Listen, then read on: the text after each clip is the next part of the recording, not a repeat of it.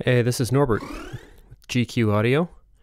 Just uh, kind of picking up where we left off with the last tutorial. We've got this rollerball game. It comes from one of the Unity tutorials.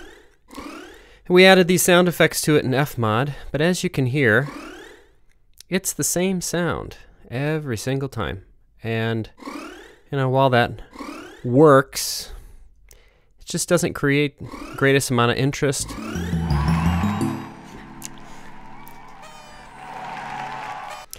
And I think players probably be a little bit bored and just feel that the audience is kind of tedious if they're hearing the same sound effect every single time.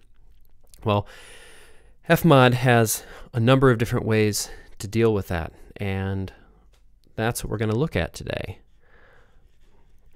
If we uh, open up our Fmod project, the first behavior is pickup-ran. Now, if you download one of the files that's listed in the description section of this video, you'll probably see that this sound event is completely flushed out and finished.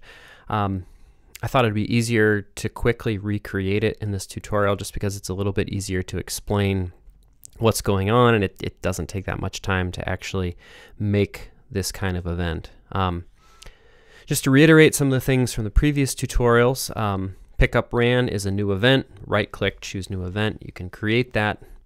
Pickup ran is the name that I chose. Uh, any name could work.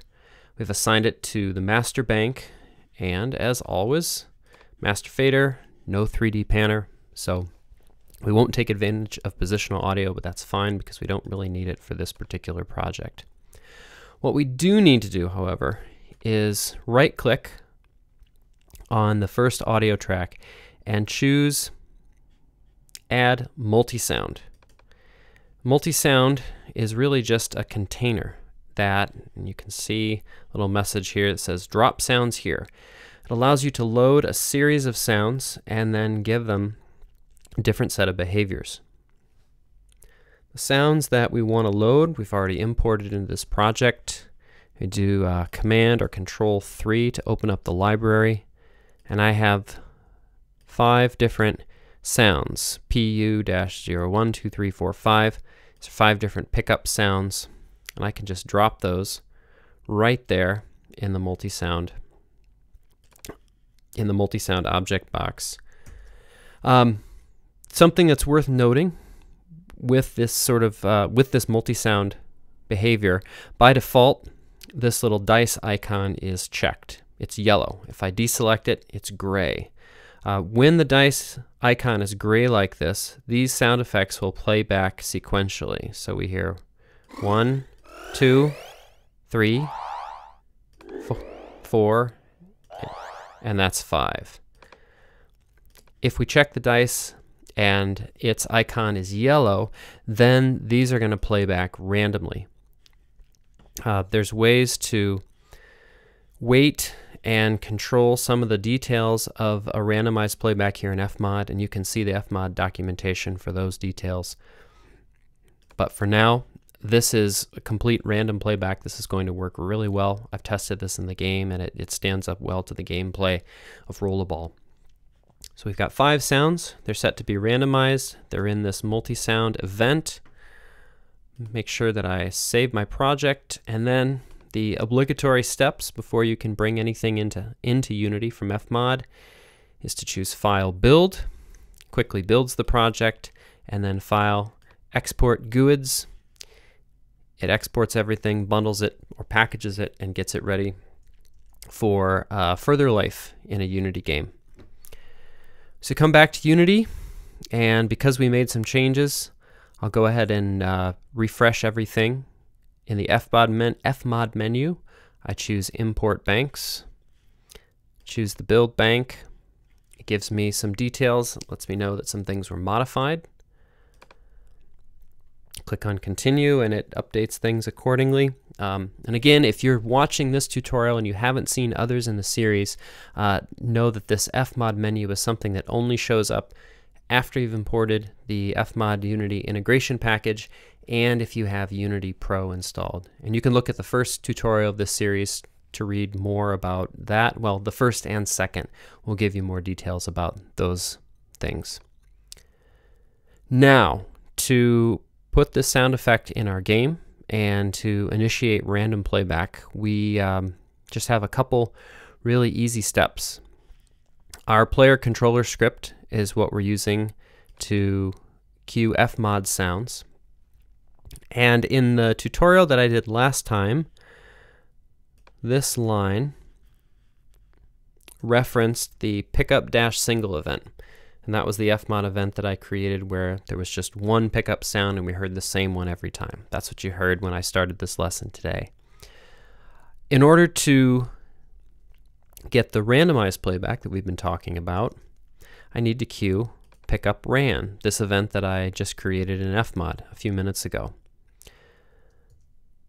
Well, it's easy to do this, um, but let me walk you through some of the other steps just to make this all more transparent.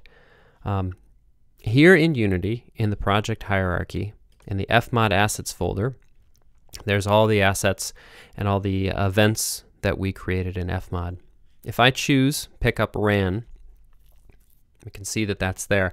It's important to note up here in the inspector there's some there's some useful information. Um, path, which is event colon slash pickup dash ran. That is exactly the text that you have to enter into your code in MonoDevelop. You can see there, event colon slash pickup single. In Unity, choose the asset, event colon slash pickup single. Uh, you can also see that the GUID is there. There may be a situation where you actually need to reference that long alphanumeric code, but for most of what we're doing in this lesson, we don't need to touch that at all. The reason I'm pointing this out is that if you're working on these projects on your own, you'll need to know where to to retrieve the right event name. And now you can see the inspector for each Fmod asset will give you those details. Well, the event that we're concerned about right now is pickup-ran, and I can see that its name is listed right there, event colon slash pickup-ran. So I will come back to MonoDevelop, and rather than rewrite this entire line, I just need to update that last little bit. Pickup dash single becomes pickup dash ran. Save that in MonoDevelop move back to Unity, um, give Unity a second to churn on it. I don't see any errors listed down here. So everything should be okay. I'm to go ahead and save this project and then let's test the scene.